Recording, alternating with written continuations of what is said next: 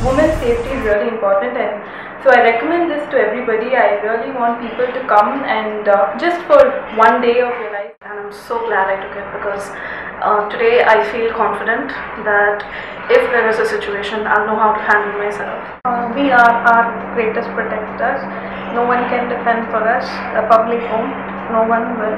It is up to us to defend ourselves, and this class has helped me learn a lot and how to defend. I would recommend all the girls out there to come learn all these techniques. uh, I'm quite confident that uh, I can protect myself from any person who snatches my chain or has intentions of rape or any other physical damage.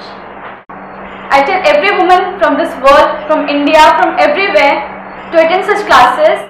Completely worth it. Uh, simple, very effective techniques and uh, you just need to be reasonably fit. The most important thing I learned today was that you don't need to be this big person and have lots of strength to inflict damage. You just need to know exactly how to do it.